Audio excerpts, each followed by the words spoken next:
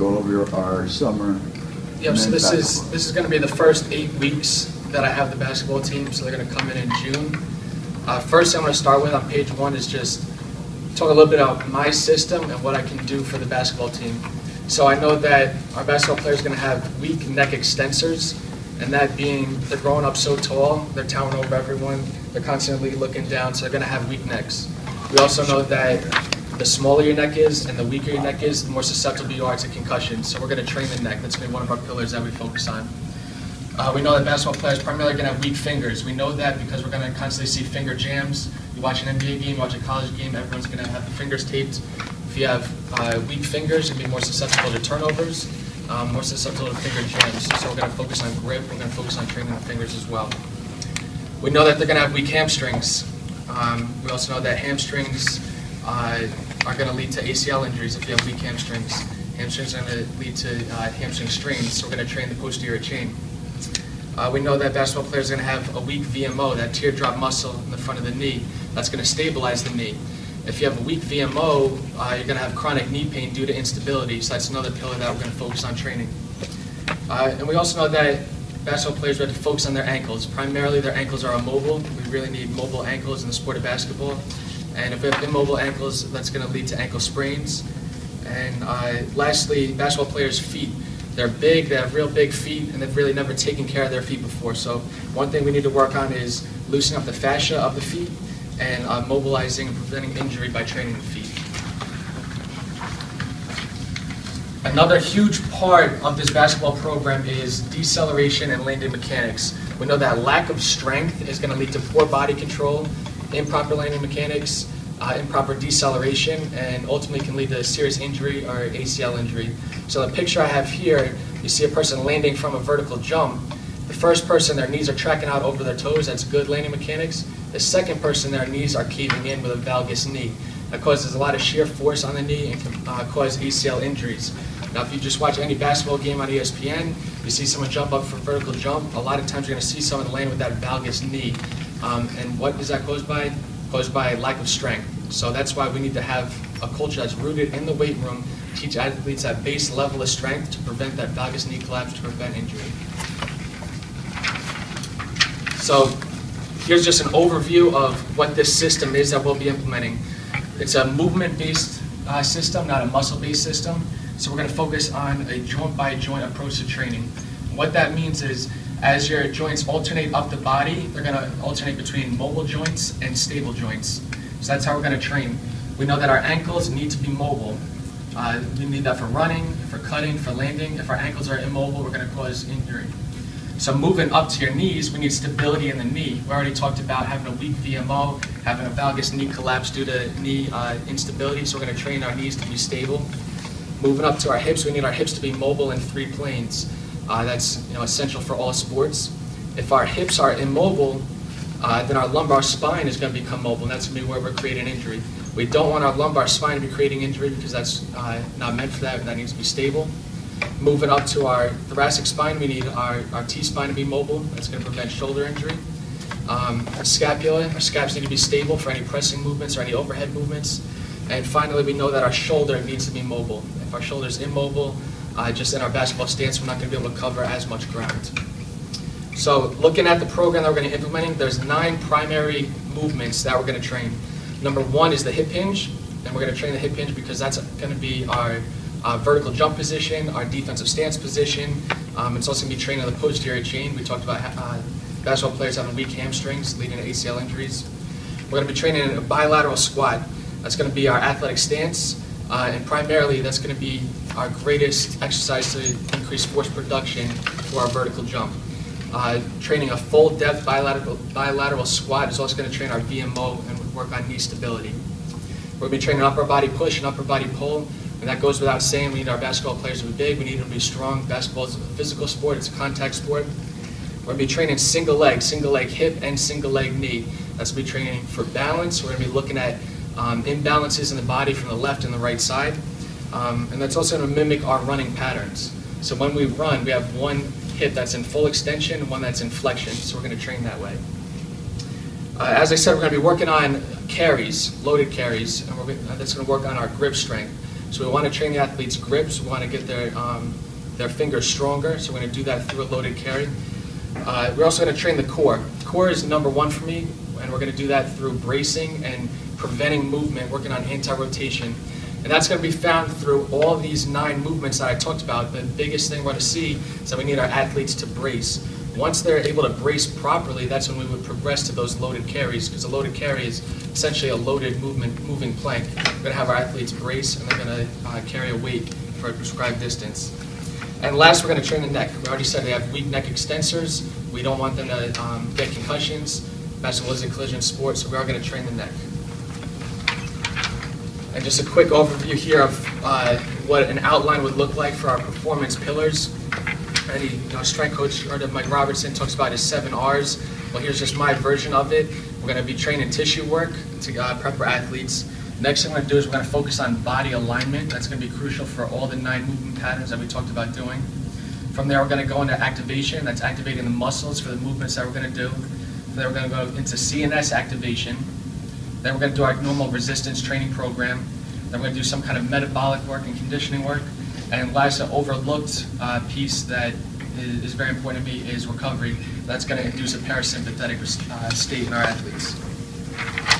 So next page, you'll see um, a performance progress chart for our athletes. So this is going to show uh, everything that we're testing in the weight room. It's also going to have um, a, a GPA tracker, so we can keep track of our total athlete as far as student athlete goes. We're also going to have before and after pictures for our athlete. What we're going to test in this program is going to come straight from the NBA Combine. So our metrics here, that's right from the NBA Combine. We're going to get their height, we're going to get their body fat. From their body fat uh, and weight, we can get their lean mass and their fat mass. Um, and we're also going to test their hand length, hand width, standing reach, and wingspan. We can get as much data on our athletes as we can. And this comes right from the NBA Combine. And so we're going to do that with our team. Combine testing, so now some performance markers. Uh, same thing, this comes right from the NBA Combine. We're going to do a, a lane agility test, a shuttle run, three-quarter court sprint, a standing vertical jump, and an approach vertical jump. In our weight room testing, we're going to test the hang clean for power. We're going to test uh, back squat and trap bar deadlift for lower body strength, bench press for upper body strength, and chin ups for upper body strength.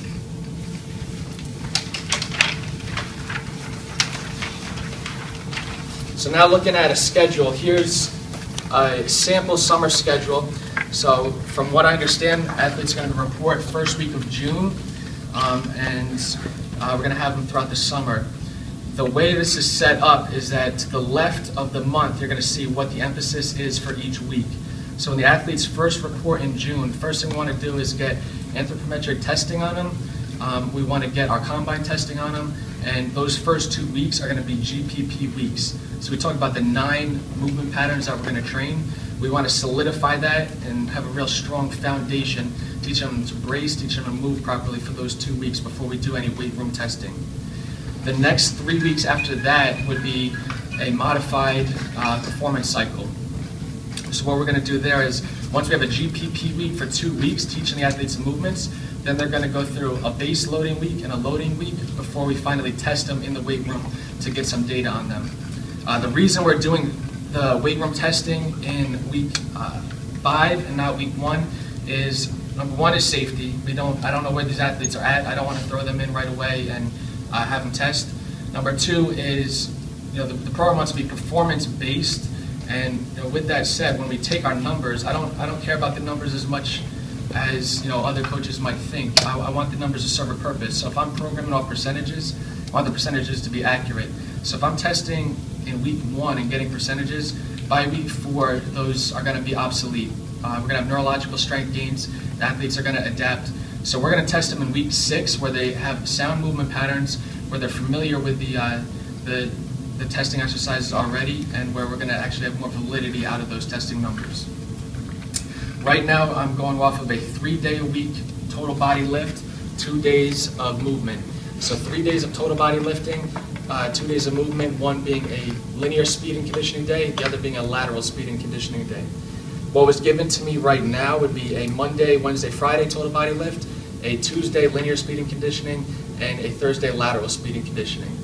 Um, if that does not work, there are, are, we can obviously adapt. If we have a, if you want four days of lifting, uh, we would lift an upper body day on Monday, lower body day on Tuesday, upper body day on Thursday, uh, lower body day on Friday, and then we would mix in our conditioning um, with our upper body lifts and our speed work with our lower body lifts. The three days, what I talked about, that's our primary one we're going to focus on right now. And then if we have to do a two-day, our split would be two upper body, uh, two total body days uh, on a Tuesday and a Friday, and then a Monday, Thursday being our movement days.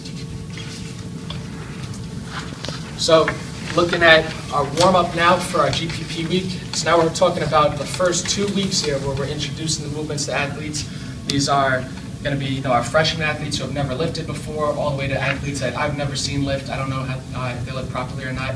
So I want to teach them my system, and I really want to lay a strong foundation in these next two weeks as far as the warm-ups go, as far as the lifting goes, as far as the, the speed and conditioning go. I want everything to be ingrained to them and take our time to really teach them because, you know, just as a basketball coach, you don't want to constantly be cueing and coaching the same thing four weeks after you taught them something. So I want to take our time and make sure we lay that foundation out these next two weeks. So with our lifts, we're always going to start with activation number one. We're going to, um, you know, primarily train one of those uh, nine movement patterns that we talked about. So in our activation, we're going to have a hip hinge, we're going to have a bilateral squat, a single leg movement. Everything we're doing is going to be to activate the uh, muscles that we're going to be lifting for that lift. Then we're going to go into a core. And our core is going to be an RKC plank, which that's our, our bracing plank. So that's a primary uh, movement pattern for us that we're going to take the time to teach. With the RKC plank, we're working on body alignment, we're working on posterior pelvic tilt, tacking our ribs, and bracing, driving our elbows towards our toes, toes toward our elbows. Um, for those of you that don't know the RKC plank, research shows that you're going to have more rectus abdominis activation, oblique activation, uh, and just overall core activation when doing an RKC plank. And to me, the RKC plank is fundamental for a squat, a hip hinge, a deadlift, any movement that we're doing. So we're going to do that every single day, and so we're going to really um, nail that home for our athletes. From there, we know we need to train the ankles, we know we need to train the neck, we know we need to train the shoulders. Those are three things that need to be protected. So with our warm-ups, we're going to always train our neck, we're going to do something to protect the shoulders, we're going to do something to loosen up the ankles or stretch out the tight calves that athletes have. You know, our basketball players are going to be used to jumping a lot. They're going to be used to a lot of plyometrics and not a lot of strength work or stretching. So that's one thing we're going to work on is, is stretching their calves, mobilizing the ankles, and then really work on decelerating and eccentrically loading them. so the next page is our lift. So this is our two-week GPP phase. So as I said, everything we're doing here is just based off of uh, the movement patterns that we want to ingrain on our athletes. So really we're looking at just two main tiers and focusing on those two main tiers and then having a strength circuit at the end. So we're going to take our time and really teach, uh, and day one, tier one, the kettlebell swing, teaching that hip hinge. We're going to go through a proper progression with that. Tier two, we're going to teach the squat. We're going to go through a proper progression with that, and then go into a strength circuit, uh, more for you know metabolic work, more HIIT training. Uh, day two, we're teaching the deadlift. We're teaching that um, you know for our, our hip hinge and pulling off the ground. Uh, tier two of day two, we're teaching our overhead progression. So we're going to start with the uh, single arm landmine half kneeling press. Day three, we're teaching our hang clean. So again, that's going to be our hip hinge pattern. And tier two, we're teaching the bench press. So I really want to spend about 30 minutes or more on these first two tiers, instructing and ingraining these movement patterns with the athletes. So you'll see the progression here. With our kettlebell swing, we're going to start them with a, a waiter's bow, then we're going to go into our kettlebell swing. With our squat, we're going to do a body weight squat to a box, then we're going to do a rack squat, then we're going to go into a kettlebell goblet squat to a box. Our deadlift, we're going to teach from the Rippetoe progression to get them in proper body alignment. Um, for the hang clean, we're going to teach the Pendlay one-two-one position. Um, that's why I love teaching the hang clean because that one-two-one from RDL progression is really going to teach athletes how to hinge their hips and that athletic stance and uh, movement pattern is going to be fundamental through everything else that we do. Um, our sets and reps for our GPP phase is primarily just based off of 5 by 5 just for uh, getting athletes some volume and some exposure, just some stimulus. They're coming off a, an off season where they haven't trained at all uh, after you know April and May. Now they're coming into the weight room for the first time in June. Um, and like I said, we're going to have athletes that have never trained before, and then most importantly, athletes have never trained with me, so I want to get them adapted to the system that I'm implementing. Flipping the page. Now, we're looking at the summer one and two warm-ups. Now our two-week GPP phase is over. Now we're looking at the warm-up that we're doing uh, for summer one and two. What we're going to add is tissue work. So now that uh, we're starting to increase volume, increase intensity, and possibly get some more on-court work, we want to make sure we're addressing the tissue as well. We're also going to work on body alignment. So that's fundamental for everything that we do, having a posterior pelvic tilt, tacked ribs, making sure the athletes know how to diaphragmatically breathe. So it only takes one minute to implement that, but the dividends are going to pay, you know, pay off in the long run. We're still going to have that activation piece, we're still going to have that core piece, and we're still going to protect the athlete with the ankle, neck, and shoulder piece. All we're adding is tissue work and uh, body alignment now. So going into the summer one program, so this is going to be our third week of training.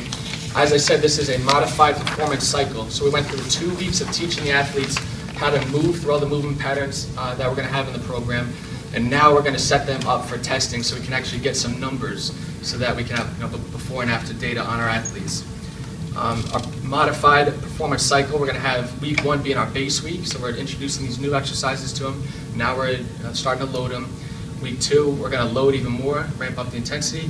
And uh, week three is our performance testing, so that's where we're going to test our hang clean, our back squat, our deadlift, and our bench press. So we're going to have uh, baseline numbers here.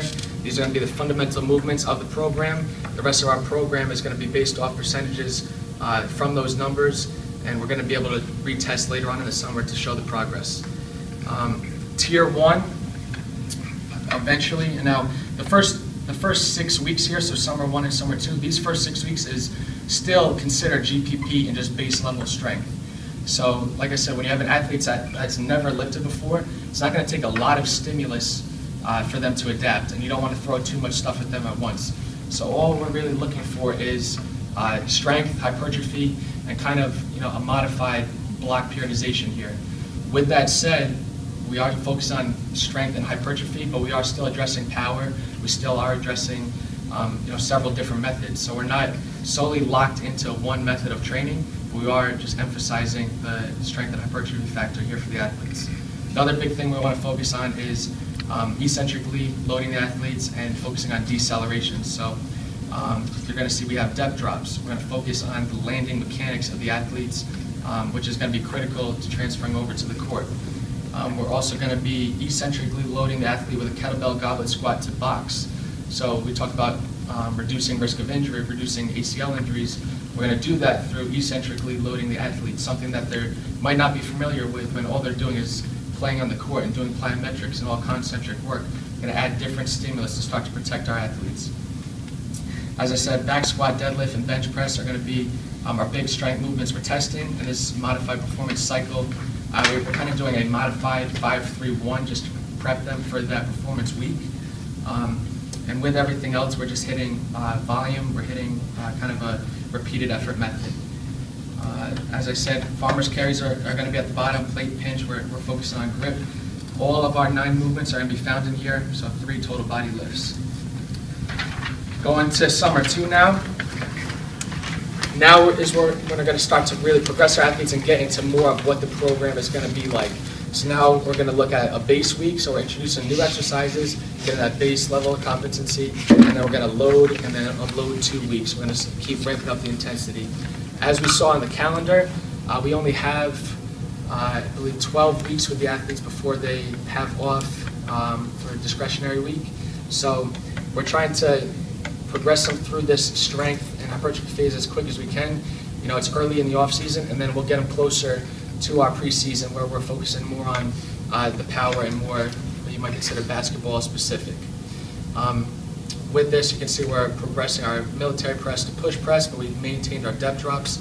And now our loading for our back squat, uh, trap bar deadlift, and bench press is going to be uh, sub-maximal loading uh, you know, to induce strength gains. So instead of ex uh, exposing them to you know, 85, 95% uh, loads near maximal loads, trying to do strength gains. Everything's going to be sub-maximally loaded, a lot of volume, getting them used to these movements because they're still new athletes. Now this is still only uh, week five here, um, so we're still getting, you know, they're not used to these movements. We want a lot of repetition, a lot of volume. So that's what you'll see in our um, sets and reps for back squat, deadlift, and bench press. Um, you can just look through everything, everything's gonna progress. Our kettlebell goblet squat is progressing from an eccentric to now an isometric. So we went through a quick uh, eccentric phase, teaching them uh, how to properly lower their body, how to get everything firing. Now we're gonna put a, a blue mini band around their knees, and now they're gonna hit an isometric squat at the bottom for five seconds. The blue mini band is there so that they can forcefully drive their knees out. It's something kinesthetic for them to keep pressing against, teaching them proper knee tracking, um, teach them proper squat pattern. Flipping now to speed and conditioning warm-up. So our speed and conditioning days are going to be anywhere from 30 to 45 minutes. Remember, there's going to be two. There's going to be a linear and a ladder, uh, linear and a conditioning day, and then a lateral and conditioning day. So starting this off, we're going to um, address all the movements as I talked about with joint by joint with a, a good dynamic warm-up, trying to um, increase body temperature, get blood to the working muscles. From there, going into stationary activation, uh, because the body is still going to be loaded, even though we're doing a movement day. We're still going to have to eccentrically load, isometrically load, change direction. So we want to make sure that we have good firing patterns, all the muscles with our stationary activation. Our GPP conditioning, so now we're back to looking at weeks one and two with GPP. As I said, week one, we're going to get our combine testing. All right, it's a little bit safer than going performance testing in week one. This will still give us good uh, performance indicators of where our athletes at and show our progression. And so like I said, we're doing combine testing of vertical jump, lane agility, shuttle run, and three-quarter court sprint. The next three sessions for that two-week period are going to be a combo session uh, on that Thursday, and then a, a straight linear session and a straight lateral session. Just like you saw with the lifts, everything's a progression. We're teaching them uh, the foundation, how to do everything properly in those first two weeks. And that says the same thing with the movement here. So for our linear speed progression, we're starting them right on the wall, um, teaching them proper body alignment, posterior pelvic tilt, uh, teaching them the shin kick with the leg drive. So we want to make sure everything, the, the foundation is set, so that three weeks from now, four weeks from now, we're still not correcting these little things. Um, our linear progression, we're going to get them on the wall, then we're going to go into a resisted march, and then a resisted run, and then it's going to be unresisted. Now they're going to go through falling starts, and then we're really going to focus more on our acceleration phase. So we're going to focus on the acceleration ladder. And our conditioning for this period is going to uh, go back and forth between tempo runs and the 300-yard shuttle. So we want to develop that aerobic base with our athletes. Basketball more of a glycolytic sport, but it is long in duration, so we need that aerobic base for recovery. So um, we're going to do so through tempo runs. So if you look at week one, day two, tempo run, um, we have three sets. All right, in between each rep, or just for those of you that don't understand, the way we're setting up the tempo runs for basketball, one rep would be baseline, opposite end of the court, and back. So that'd be one rep. In between each rep, to make it a tempo run, they're going to walk the length of a court. So one rep would be sprint to the opposite court and back, walk the length of the court. The amount of time it takes them to walk is their recovery. As soon as they hit that end of the court, they're back into their second rep. All right, if uh, it's two reps instead of one, then obviously that's just double the length of the court. Um, in between uh, each set, instead of just walking one length of the court, they're walking the full length of the court and back. So we're trying to, to mimic uh, a basketball game a little bit and, and tweak different variables. 300-yard uh, shuttle, we're going to start out doing three 300-yard shuttles. The goal is to get everyone under 60 seconds, and uh, they're going to have three minutes rest to start. Um, looking at our lateral day, same thing as the linear. We're starting very basic and teaching them how to move. Obviously, basketball is a lot of lateral movement, a lot of shuffling, and yet there still is a lot of ACL injuries. So our goal is to teach them how to properly shuffle, how to properly move. So our uh, lateral progression is first just a step replace, and we're, we're teaching athletes how to work the inside edge of the foot and the outside edge of the foot, keeping their toes forward and having a proper weight shift. From that step replace, uh, then we're going to a push to move. So it's not a shuffle yet. A shuffle is a push and a pull. Now we're just doing a push, deceleration, push, deceleration, and finally progressing to a push and a pull.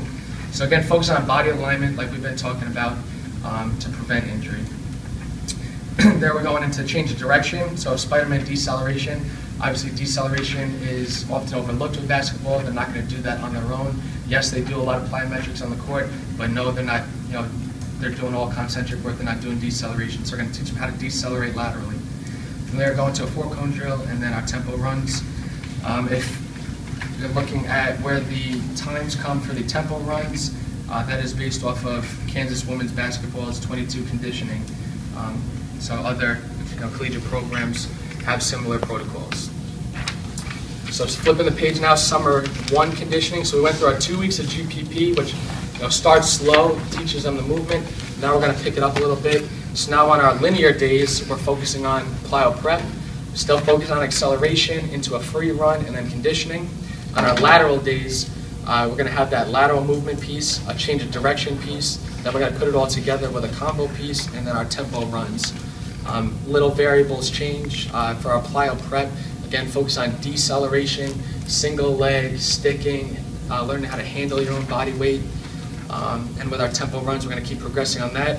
300-yard shuttle, we're going to increase our reps, and then we're eventually going to start decreasing our rest times. Flipping the page now to summer two, speed and conditioning. Our linear, instead of going plyo prep, now we're getting into some plyometric work. So we taught the athlete how to move properly, we taught them how to decelerate. Uh, Now we're going to get them into some more concentric work, but still with the eccentric and isometric component, having them stick the movement pattern, uh, just to ensure that they're doing everything correctly. Still having an acceleration and a free run component, now uh, primarily focusing on hill sprints instead of uh, sled, sled work, and then free run now focusing on uh, flying 40s and uh, flying 60 drills.